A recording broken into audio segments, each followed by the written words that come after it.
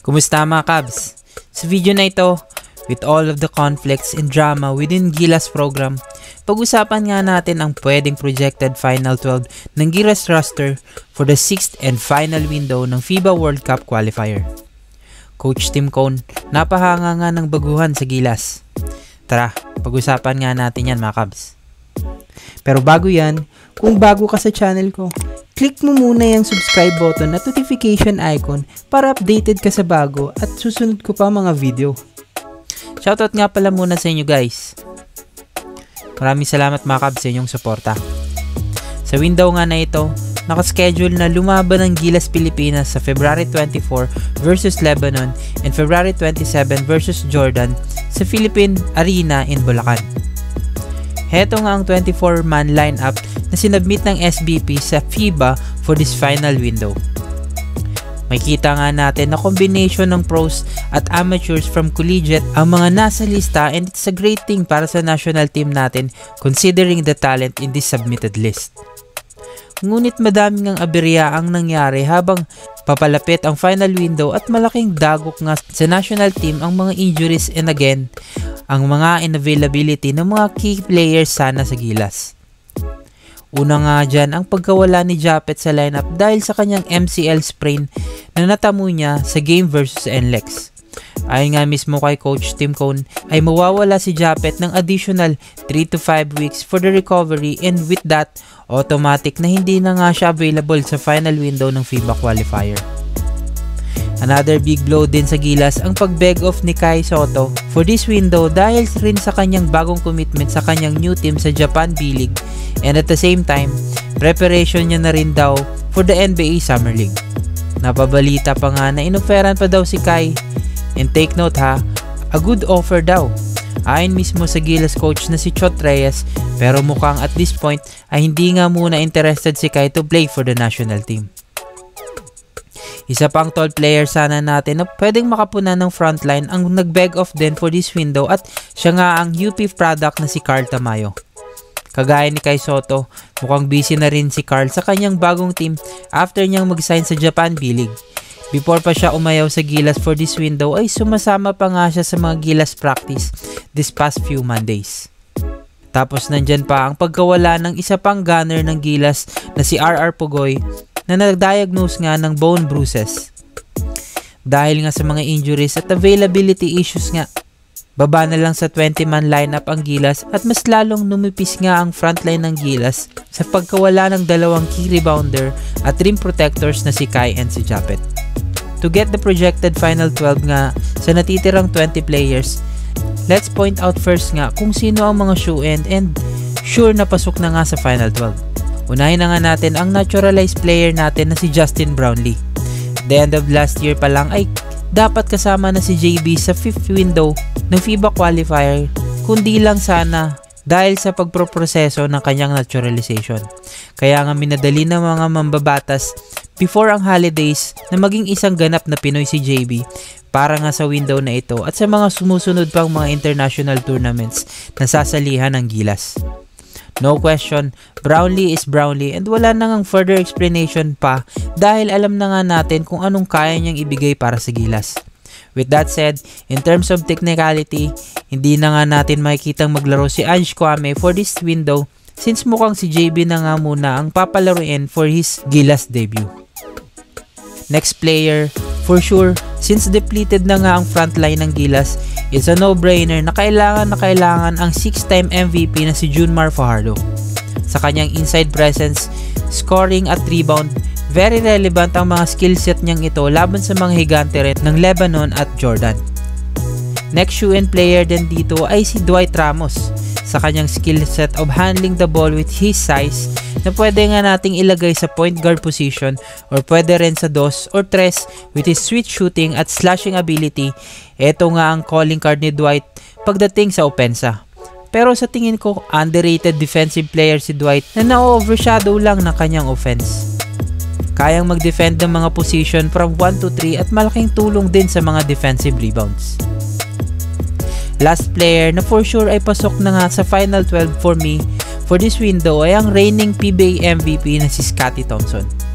With the lack of rebounder sa frontline, magagamit nga natin ang God-given talent ni Scotty when it comes to getting the ball. Moreover, pinatunayan na nga ni Scotty na kaya niya ring mag-dominate internationally based sa kanyang performance sa fifth window. Sa kanyang improvement when it comes sa kanyang leadership, dagdag mo pa dyan ang kanyang hustle at ang kanyang improved shooting. Again, no doubt, pasok siya for sure sa Final 12. After these 4 players ay for sure labo-labo na dyan ang mga natitira sa listahan. Pero let's continue and these are the players that I think will crack the final 12 for this window. Pasok sa final 12 sa tingin ko si Jamie Malonzo. As what you've seen in his playing style sa Hinebra, a lot were saying that he's a bigger version of Scotty Thompson in terms of hustle and athleticism. Makakatulong din ang kanyang rebounding and looking at his skill set na pinakita nga sa mga laro niya sa jeans. Si Malonzo is also a decent 3-point shooter which is bagay na bagay sa mga international games. Speaking of 3-point shooting, I think pasok din ang dead shot na si Jordan Heading. With his percentage behind the arc, mukhang siya na nga ang hinahanap ng Gilas na light out shooter para gumana nga ang offense na ginagamit ni Coach Shot sa Gilas.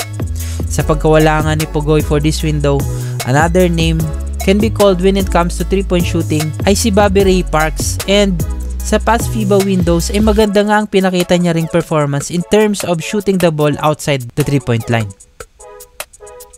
Next on my list is CJ Perez. He can be called off the bench after nga maglaro ni Scotty or Dwight and it really works if you see his performance sa nakaraang window kung saan mismatch nga ang mga kamatchup niya pag nakakatapat niya pag naglaro na siya off the bench.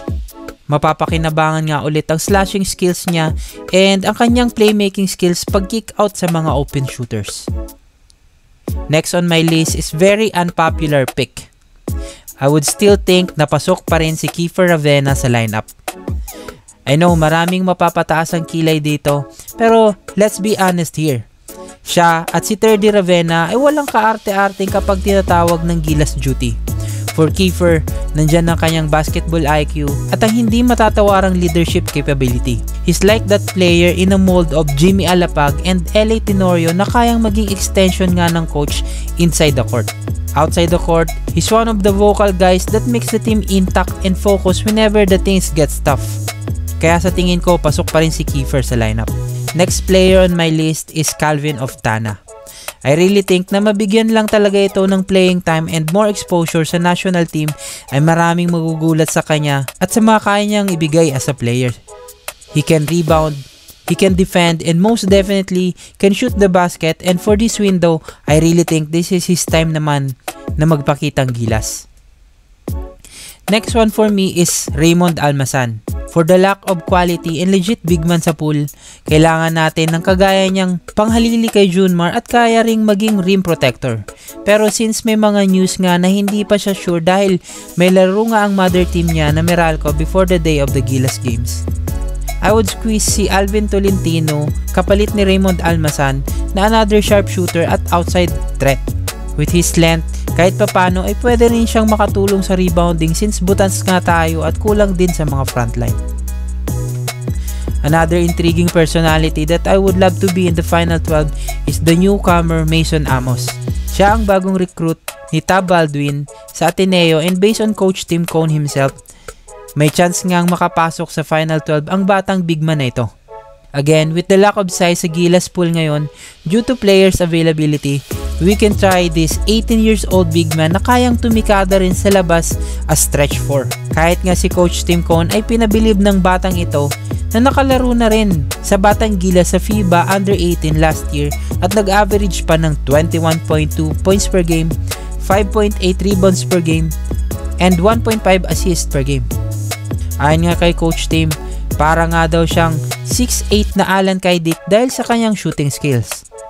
he is extremely interesting. I mean, he is a big guy who is an absolute, absolute lights out shooter. I mean, he can shoot it from anywhere at any time. Um, he's like an Alan Kai Dick at six eight, you know, and big bodied, and uh, um, he has the, the ability to put the ball forward. He's only 18 years old, and which is, I mean, blew me away when I found out he was 18 I didn't know it the first couple of practices. I thought he was like a 25 year old the way he was playing.